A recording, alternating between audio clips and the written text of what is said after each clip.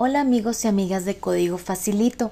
Mi nombre es Diana Carolina y hoy traigo para ustedes la unidad número 26 del curso visualbasic.net. Consultas a la base de datos mediante Data Reader.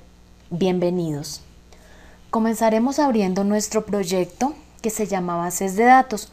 Lo podemos abrir desde aquí, desde acá o desde archivo, abrir proyecto y lo buscamos en la ubicación bases de datos y aquí es el que se llama bases de datos.sln. En este caso me abrió automáticamente el módulo de funciones. Sin embargo, si alguno no le abrió este módulo directamente, sencillamente se van aquí a mano derecha y le dan doble clic donde dice funciones DB y listo. Ahí quedamos todos. Vamos a comenzar creando dos nuevos elementos que hasta el momento desconocemos, que son el elemento command y el elemento data reader. Vamos a crearlos públicos. Pongámosle cmd como nombre. Y para crearlo le decimos oledb .oledb command. Ahora, para crear el reader, lo ponemos también público, pongámosle dr y se llama así, oledb. aquí está, oledb data reader. Creemos ahora una función pública a la que llamaremos consultar public subconsultar. Abrimos y cerramos paréntesis y vamos a recibir un parámetro que va a ser la identificación de la persona. Vamos a recibirlo por referencia. Pongámosle por nombre identificación. Identificación. Y es un dato de tipo string. Dentro de esta función vamos a inicializar algunos valores del CMD. Vamos a decir cmd.connection y vamos a asignarle la variable con que fue la que nosotros creamos anteriormente para determinar que era la de conexión. Ahora vamos a utilizar cmd.commandType igual a text. Y ahora lo que quiero que hagamos es que evaluemos si la variable identificación trae un dato o no. ¿Por qué? Si trae el dato, vamos a hacer el select de acuerdo a ese dato. Es decir, buscamos a la persona que tenga ese número como identificación. Si no lo trae, lo que vamos a hacer es que vamos a hacer una consulta a todas las personas. Hagamos entonces el if. Identificación es diferente de vacío. Entonces, cmd.command text es igual a. Vamos a hacer acá el SQL para el caso en el que el usuario nos haya digitado un valor. Abrimos y cerramos comillas y hacemos nuestro select. Entonces select nombres apellidos correo y dirección from, la tabla se llama persona, donde y de persona es igual a y vamos a agregarle la información que el usuario nos ha enviado a nuestra variable identificación. Más identificación. Ok. Ahora si no es decir, que no nos envió dato. Vamos a copiar este CMD.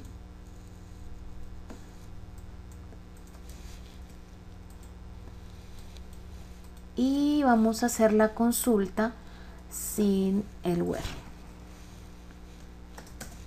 Vamos a traer todos los datos de la persona. Ahora dentro de un try vamos a ejecutar esa consulta. Se ejecuta así, dr, que es nuestro data reader, es igual a cmd.executeReader. Abrimos y cerramos paréntesis. Y ahora decimos dr.read.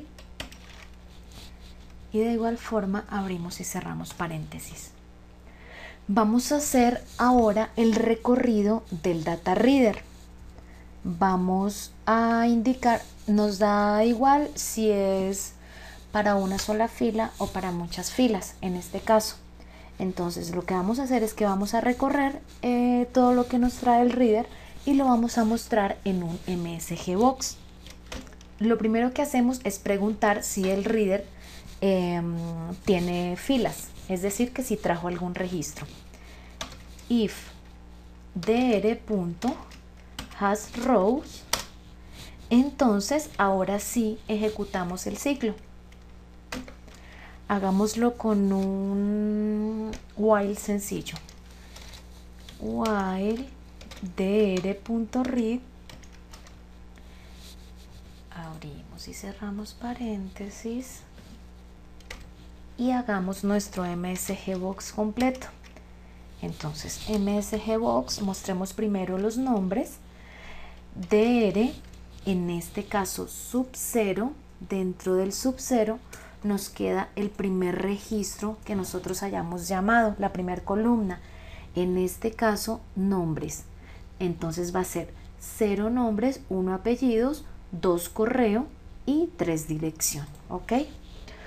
Punto to string, como siempre lo hemos mencionado. Vamos a agregar un espacio para que no nos quede apretado. Y ahora viene el segundo. Voy a copiar toda esta información para no repetirla. Vamos a decirle que nos muestre ahorita los apellidos. Otro para el correo. DR2 y el último para dirección sería el DR3 ya no necesitamos el espacio al final. Sencillamente lo dejamos así. Ahora, si DR no tenía mm, registros, entonces también enviamos un mensaje al usuario en Box diciendo no existen registros para la consulta. Bueno, vamos a hacer todo ese intento. Ahora vamos a mostrar la excepción. Las excepciones acá pueden ser múltiples, desde inconvenientes con el data reader hasta inconvenientes con la consulta que hayamos hecho. Si de pronto escribimos alguna palabrita mal, alguna letrita mal, ahí nos va a salir, ¿ok? Entonces mostrémosla para ver si no nos hizo la tareita, ¿por qué no la realizó? ¿Ok? Bueno, hasta ahora tenemos la función. Vamos a hacer un llamado a la función desde nuestra forma. Vamos a guardar. Abrimos la forma, aquí a mano derecha, doble clic. Abrimos el código de la forma dando doble clic en form 1. Um, ok, antes de esto, volvamos nuevamente a dar doble clic en la forma. Vamos a ingresar un text box que tenemos text box y un botón. botón. Lo que vamos a hacer con esto es que em, al dar clic en el botón nos va a hacer el llamado a la función que acabamos de realizar.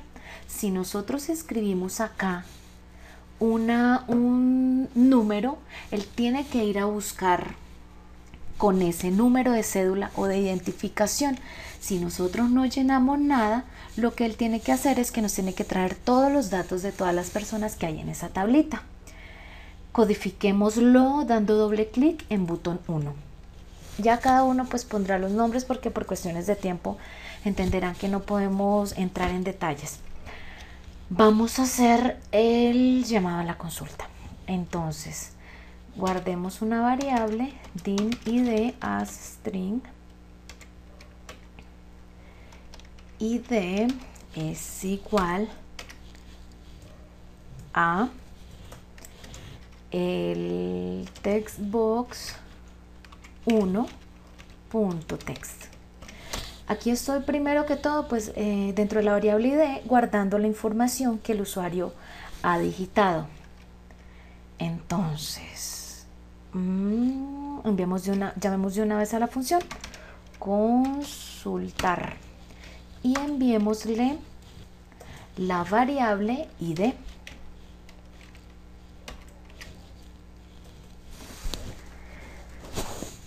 Bueno, guardemos, hagamos una revisión rápida de las funciones, verificando que no nos haya faltado algo. A ver, CMD. Acá en CMD es necesario que pongamos la palabra new. Hagamos esa corrección, miremos la función. Conexión tipo. Ok. Acá también es necesario que borremos esto, porque si nos damos cuenta, aquí lo estamos haciendo nuevamente. Entonces no podemos, no podemos ir a indicarle dos veces que haga la lectura. Entonces borremos esta y creo que nos falta cerrarlo. Entonces cerrémoslo aquí. close Ya hecha la revisión, ejecutemos a ver qué sucede. Guardemos. Y F5.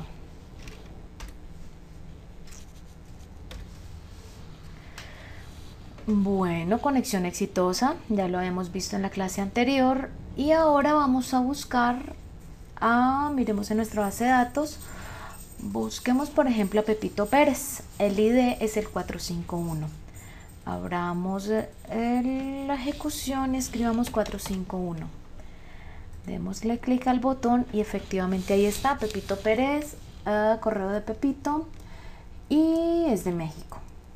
Bueno ahora hagamos la ejecución sin ningún dato que en este momento nos tiene que mostrar a todas las personas que hayamos guardado en nuestra base de datos.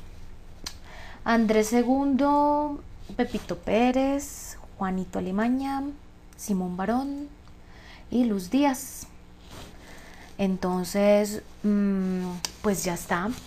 Tenemos una consulta tanto para mm, cuando una persona nos escribe un dato o cuando queremos hacer mm, un select de todos los usuarios de esa tablita. Espero que les haya gustado y sobre todo que les sirva muchísimo. Recuerden que si hay alguna duda sobre este tema o sobre los temas que ya hemos visto, me pueden escribir sin ningún inconveniente a ing.gallolara.gmail.com o también me pueden seguir en Twitter arroba ing-gallolara.